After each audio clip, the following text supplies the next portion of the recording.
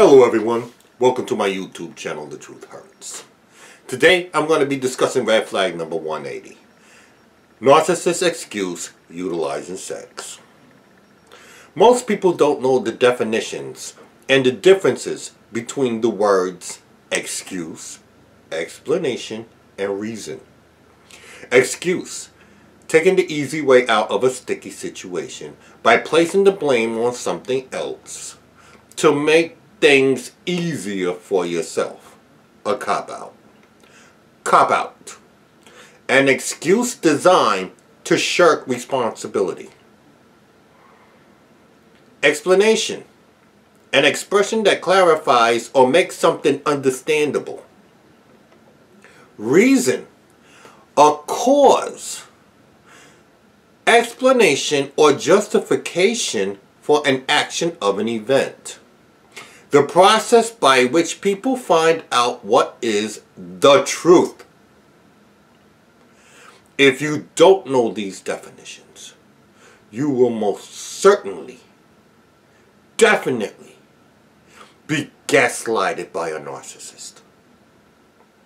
Gaslighting, a form of psychological abuse used by narcissists in order to instill in their victims an extreme sense of anxiety or confusion to the point where they no longer trust their own memory, perception, or judgment.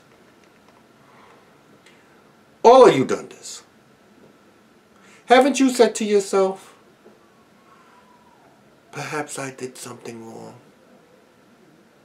to make the relationship dissolve? Please see red flag number 97. What did I do wrong with the narcissist? This is what the love doctor calls a mind fuck. Now, this mind fuck is almost always sexual. Narcs don't know what they want. First, it's they love you. Then they don't love you. They love you, but they're not in love with you. Then it's they lied about loving you. It's typical of people today that if something is going too well, it's too good to be true. And they sabotage it, either thinking they are not worthy, or maybe they are really not ready for a real person. And the bad excuses start coming. The excuse will be you were not satisfying in bed or you didn't give them enough sex.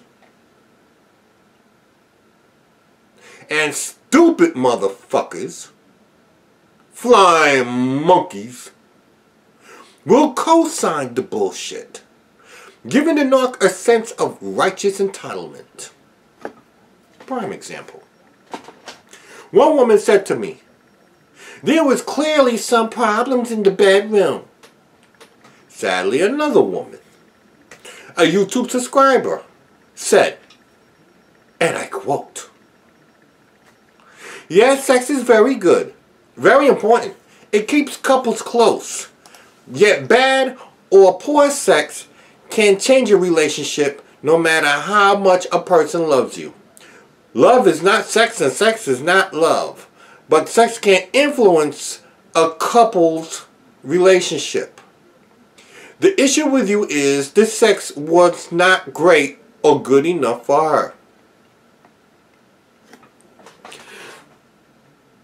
Of course, there was a sexual problem between us. Lilith has herpes.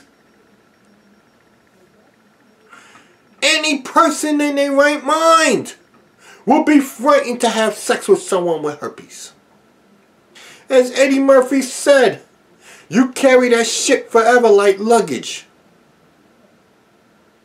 So of course there's going to be some mental issue with sex. During foreplay, I will be rock hard.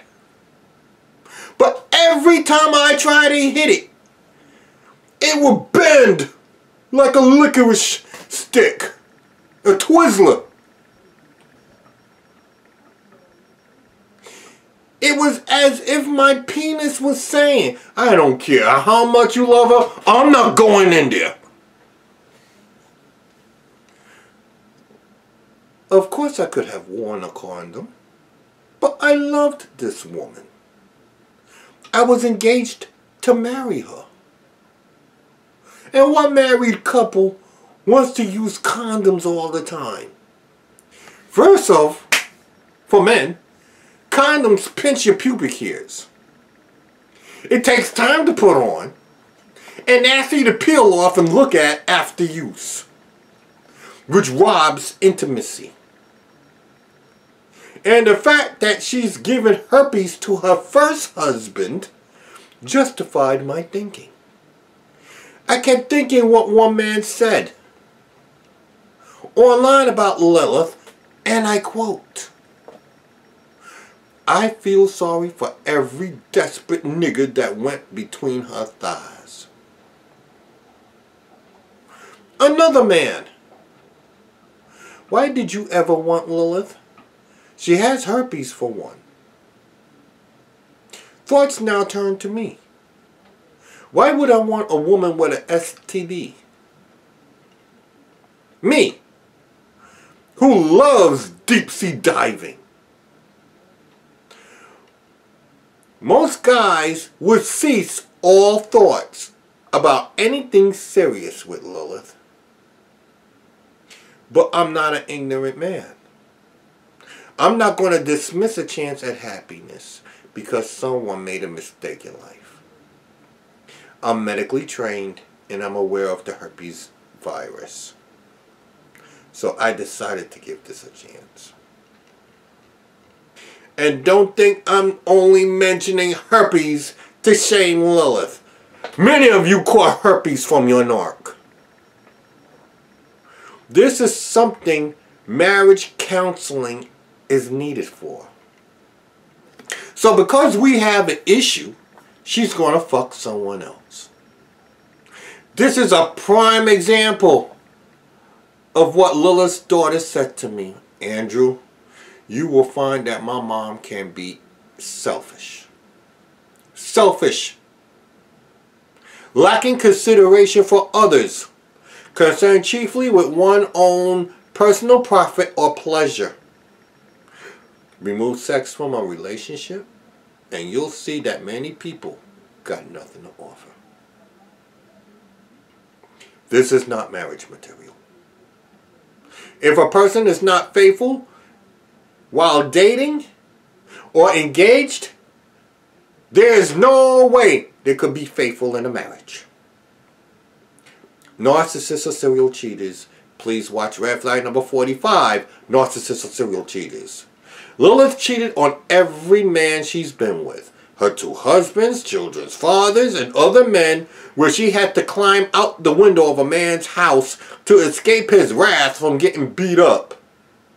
And was lured to his house with sex. I even remember her second ex. I remember her second ex saying to her, during a phone conversation while I was there, you want me to fuck you, don't you? Let me break down this logic of this behavior to you. To show you the lie of sexual dissatisfaction. Lilith found a bigger dick. Right? And she was so happy with it. She called off an engagement. Where's that big dick now?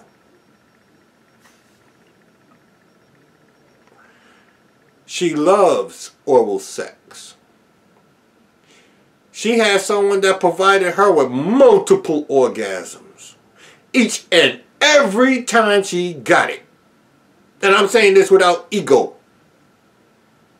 And it was so magnificent that she peed herself each and every time.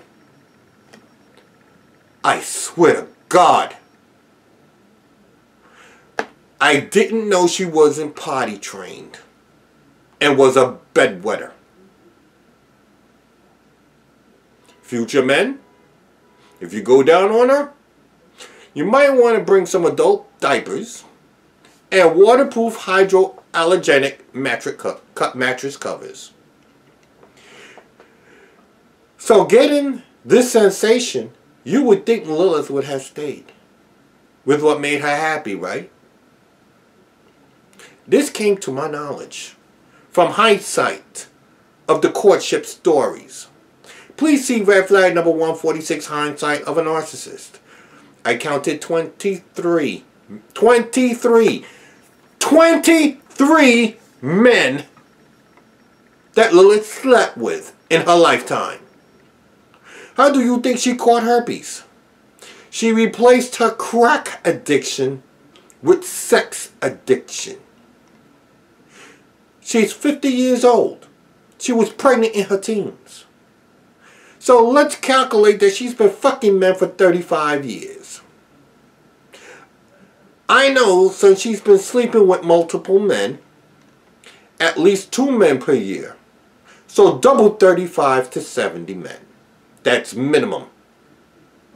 Me, her two husbands, her two baby daddies, the guy she cheated on me with, the radio show host she met me on, the guy that she flew to California to see, the man that paid her $300 to take the day off to eat a pussy, Two men she claimed that raped her, the drug dealer she had sex with to get crack, the threesome with a guy, the two men she had sex with in one day, the white man she had sex with, when her child's father pimped her out for drugs, and others I have yet to mention or don't know about.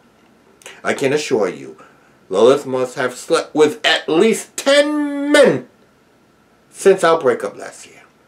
Red flag! Anytime you see someone with a history of excessive sexual partners, you'll be nothing more to them than someone they slept with, a sex toy. Run! Therefore, let's safely say we can triple the amount and round it up to 100 men, three men per year. Now, with all these sexual acts, Lilith didn't find one person satisfying to settle down with and continues to hop around from bed to bed like a bunny rabbit. So the bedroom is not the issue. Her sexual behavior is the issue. Please watch Red Flag number 78.